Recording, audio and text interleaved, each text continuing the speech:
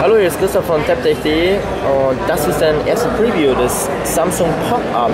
Ähm, richtig geniales Gerät hier, jetzt nicht nur, weil es eine richtig äh, coole Farbe hat, ein bisschen anders wie die äh, eleganteren Geräte hier, die man immer sieht. Äh, geniales Gerät deswegen, wir sehen hier hinten äh, bei diesem Stand, da ist auch direkt der USB oder sogar USB 3.0 Anschluss Micro HDMI und äh, LAN-Adapter integriert.